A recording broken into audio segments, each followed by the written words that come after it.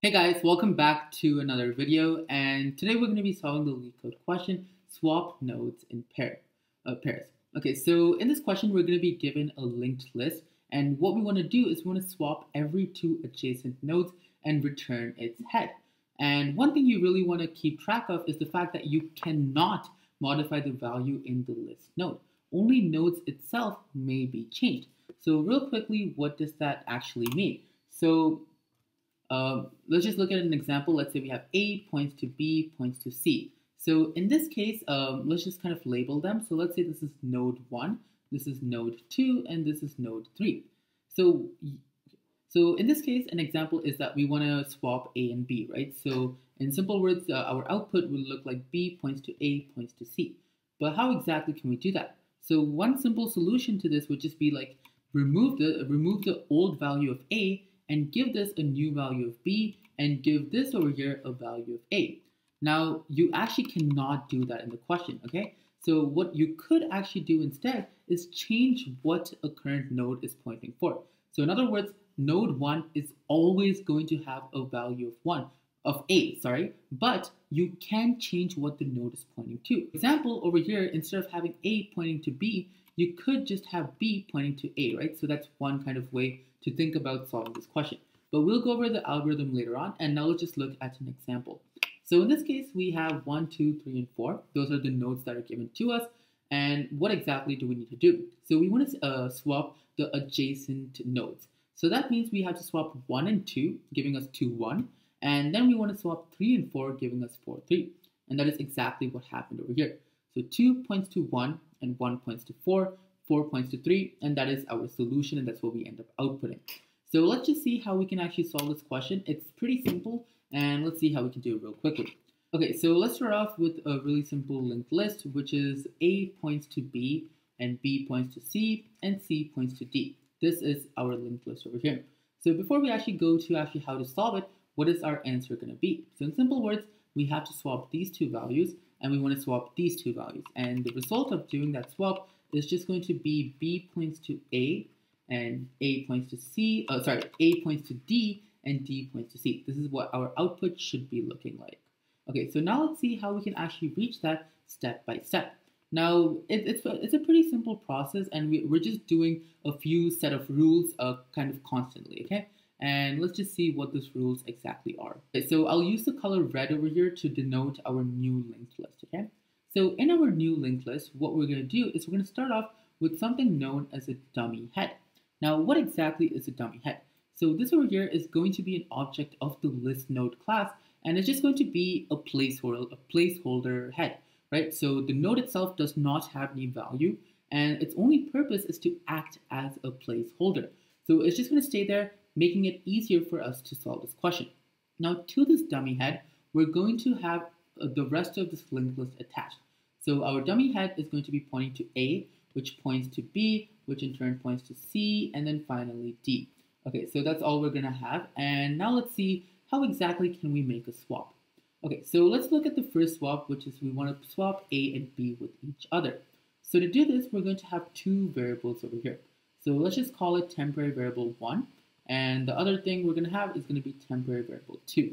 Okay, pretty simple. And another thing that we're going to have over here is going to be a, a current pointer, right? So this pointer is going to start off at our dummy head in the beginning. So our pointer is at dummy head and we have two variables that we want to get its value for. So now the question is what goes inside of these two variables?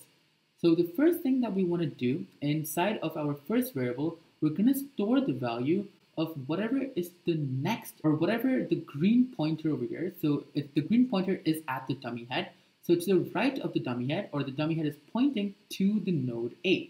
So that's what we're going to end up uh, storing for the value of temp1. So it's going to be A.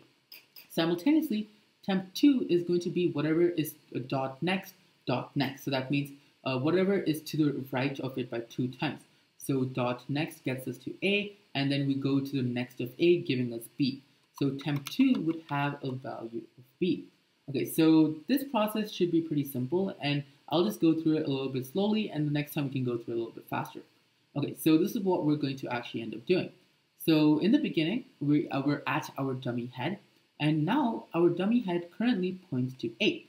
But technically, we want to make a swap between A and B. So that means we should have B pointing to A. That's kind of our end goal. And everything before that should be as it is, and everything after that should be as it is as well. Okay, so how exactly do we end up making that change?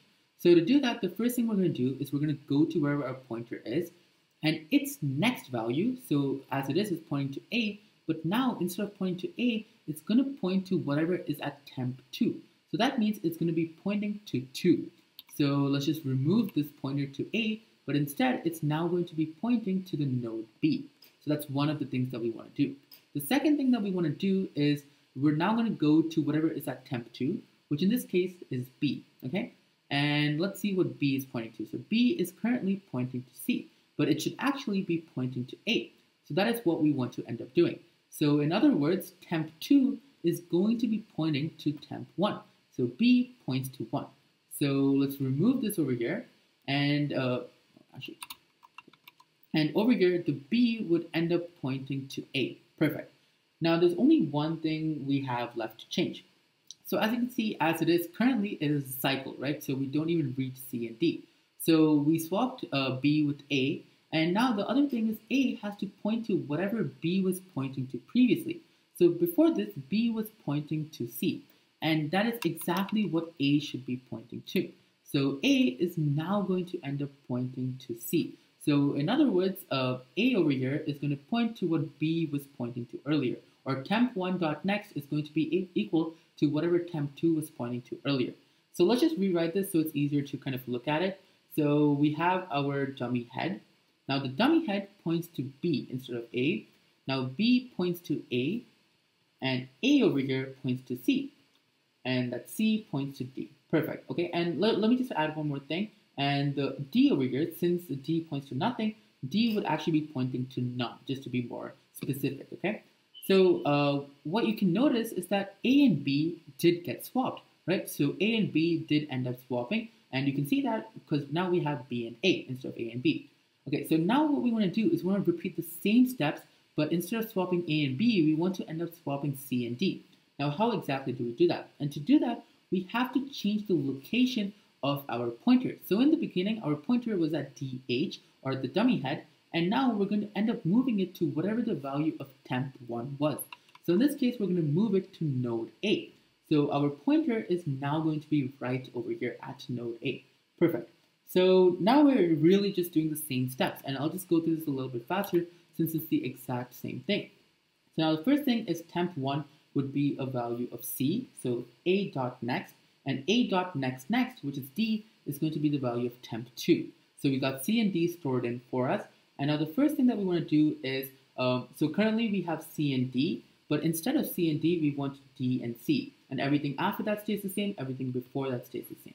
Okay, so A over here, instead of pointing to C, should be pointing to D. So in other words, current dot next should be pointing to whatever temp2 is. So A points to D. That's it. Okay, now what's the next step? So temp2 dot next is currently pointing to none but instead it should be pointing to C as we can see over here. So that's the next change. Temp2.next is going to be equal to temp1. So D points to C. And finally, D over here was pointing to none, right, uh, before this. But instead what we want to do is we want C to be pointing to that value. So let's remove this over here. So D is not pointing to none anymore. And instead, C is pointing to none. So let's just rewrite all of this once again.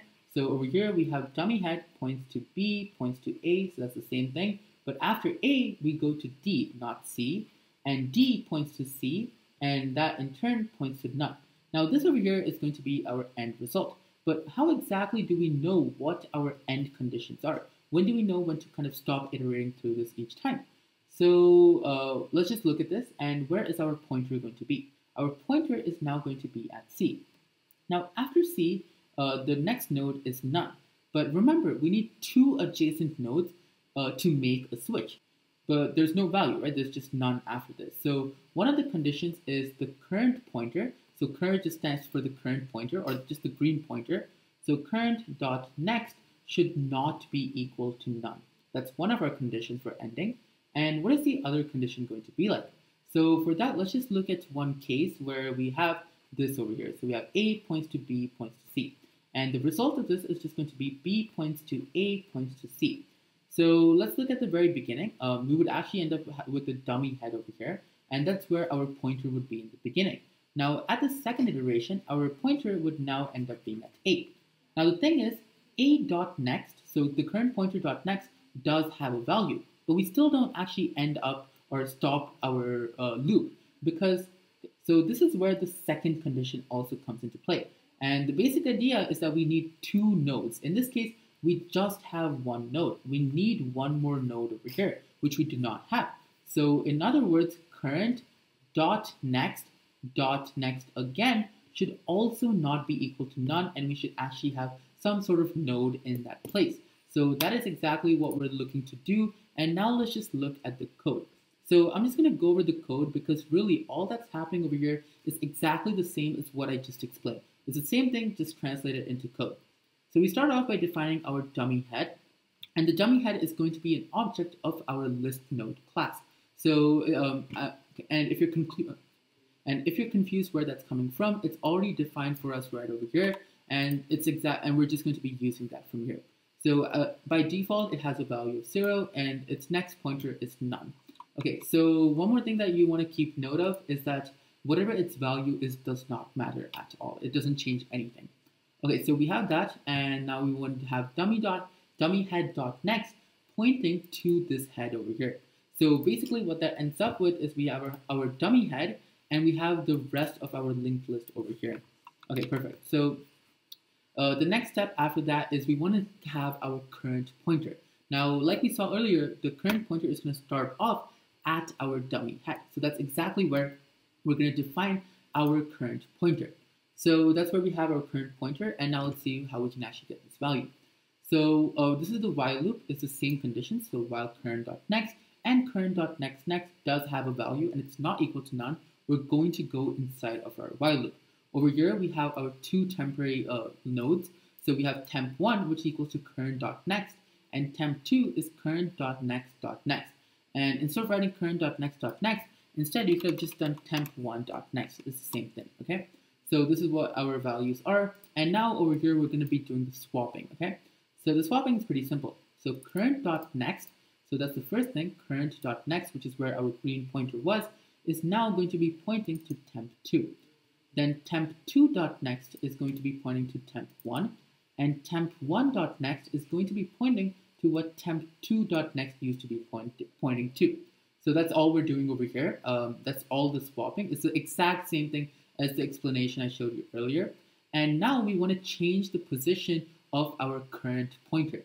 So our current pointer is now going to be at the same position of wherever the temp1 is, so temporary variable 1. So it's going to be at that node. And we're going to keep going through this until we're done with this while loop. And at the very ending, we're going to return dummyhead.next. And we're returning dummyhead.next. I don't think I explained that. Uh, and the reason for that is pretty simple because uh, let's just look at this example. So we have the dummy head over here, and we want to uh, output the head of our new linked list. So the head of our new linked list is nothing else but dummy dummyhead.next which in this case means that we're outputting the node B. So that's exactly what we're going to end up doing over here. And let's submit this and it should get accepted. And finally, one more thing is that the time complexity of this is going to be big O of n by 2. And uh, the reason it's going to be n by 2 is because we're going through only every adjacent cell, right? So every other cell, so uh, n by 2. And uh, usually you just uh, get rid of the constant, so it's just going to be big O of n. And the, time, and the space complexity over here is going to be constant space. Okay, and as you can see, our submission did get accepted. So finally, thanks a lot for watching, guys. Do let me know if you have any questions, and don't forget to like and subscribe. Thank you.